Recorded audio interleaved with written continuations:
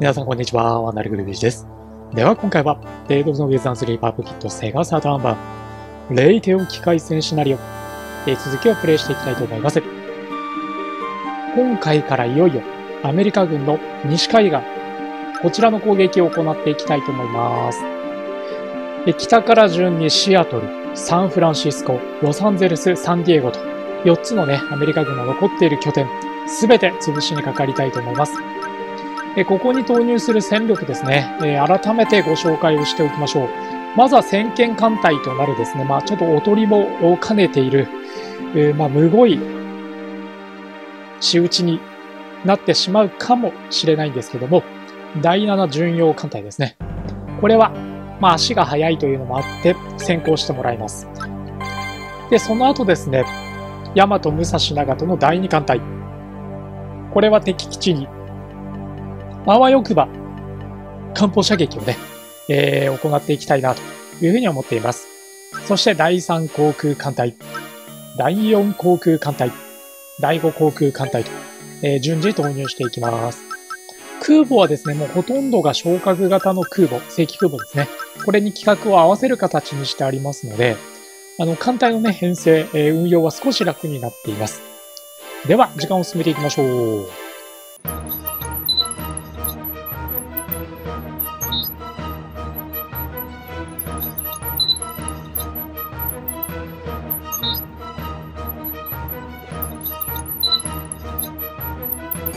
今、シズ、シズとサンフランシスコに向けて航行中なんですけども、航空艦隊の直縁はですね、50%まで増やしてます。まあ、通常だとですね、えー、25%ぐらいで運用することが多いんですけども、今回はね、西海岸4つの拠点を攻略しなければならないということもあって、空母に万万が一損害が出ると作戦がね、なかなかちょっとうまく進行しなくなるという懸念もあるので、直営のいつもよりちょっと多い50%という数に増やしてあります。これが基地と出るか、京都出るかっていうところもね、ちょっと見ものかなというふうには考えています。では、シアトルに対して、敵に気づかれることなく、察知されることなく接近できましたので、えー、関西機、発艦して攻撃しかけていきたいと思います。シアトルの極限機20、思ったよりかは多くないですね。まあこういう時にできるだけ敵の直縁機を叩いて数を減らしておきたいかなと思います。まずは第3航空艦隊から関西機136機出撃です。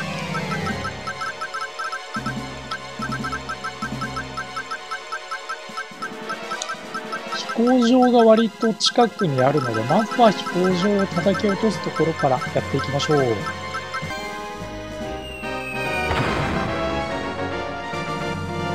はい、えー、飛行場の破壊完了しました。まあ、あのー、飛行場の規模が小さかったので、まあ、思ったよりね、えー、早く、えー、飛行場が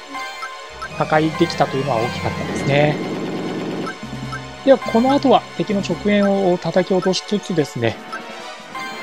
砲台を撃破していきたいと思います。はい。えー、まずは難なくシアトル陥落させることができました。まあ、敵も司令官不在。飛行場も早々に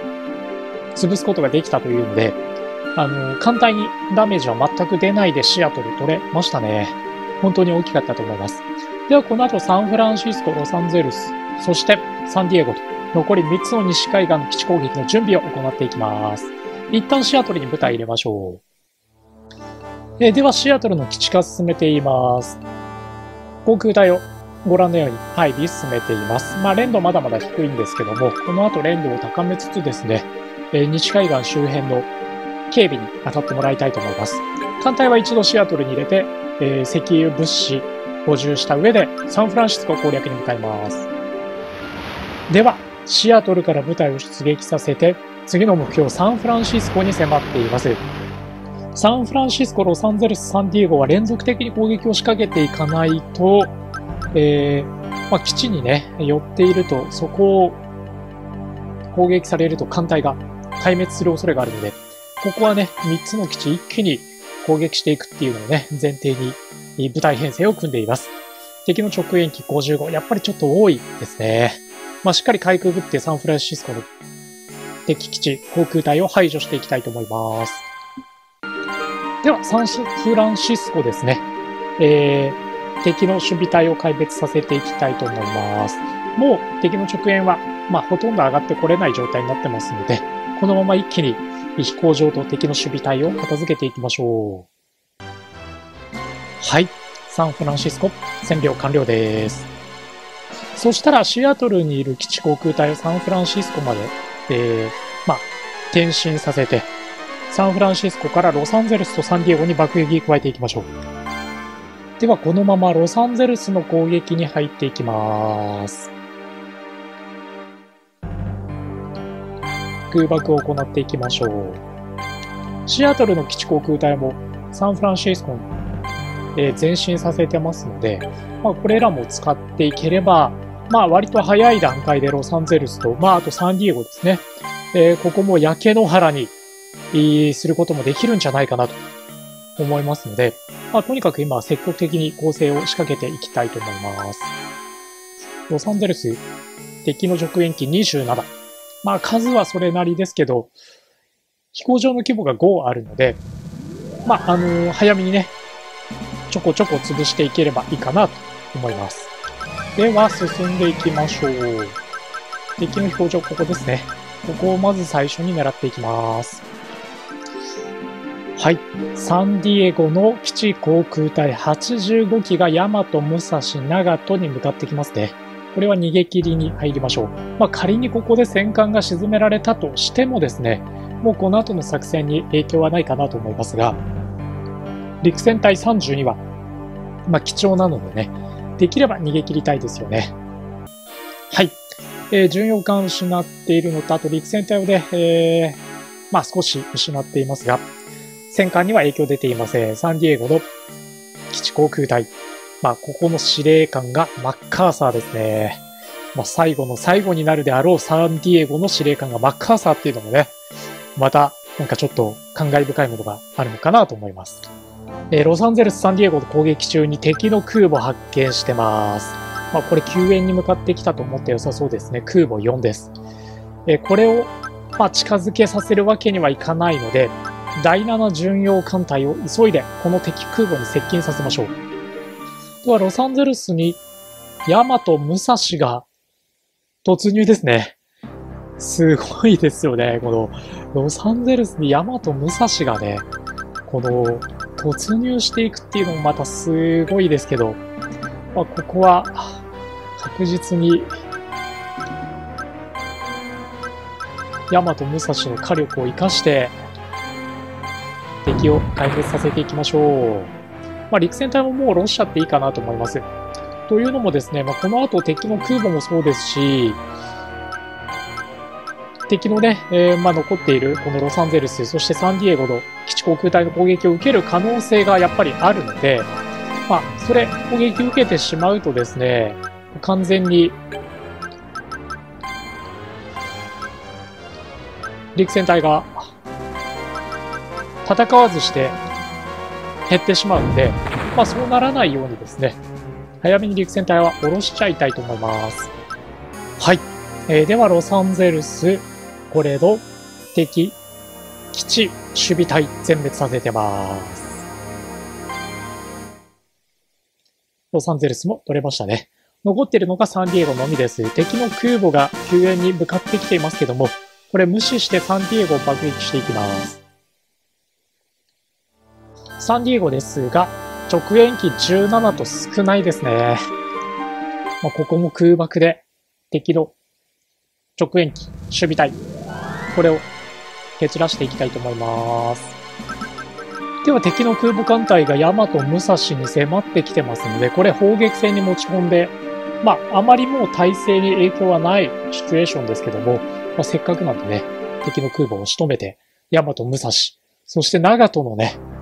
えー、勇姿を、まあ、最後に、えー、お見せできればいいかなと思います。ここにいますね、敵の空母ね。バンフォージ撃沈です。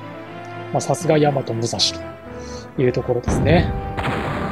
ポイントクルーズ、撃沈です。あと正規空母スペリオール、それにミッドウェイがいるというのがこの最後のアメリカ軍の艦隊と言っていいと思うんですけどね。これを撃沈しておきたいと思います。スペリオール、撃沈です。これで全空母撃沈済みになりましたので、あとはね、総統戦を行っておきましょう。はい。えー、マッカーサーの守るサンディエゴですね。えー、ここの攻略、完了です。これでアメリカ軍が母港とできる、まあ、基地はね、すべて占領済みとなりますので、攻略完了という形になります。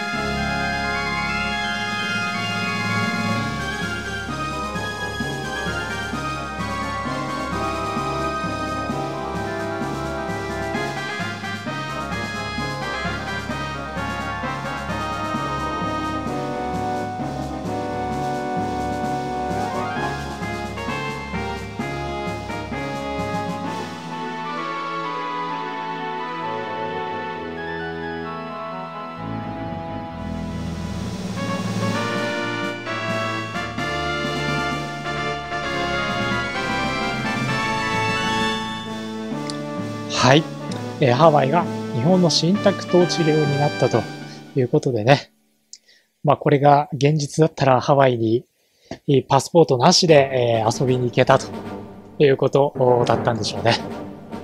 えー、では、提督の決断3パープキットセガサタン版、レイテオ機改善シナリオはこれで終わりにしたいと思います。皆さんの応援本当に、ありがとうございました。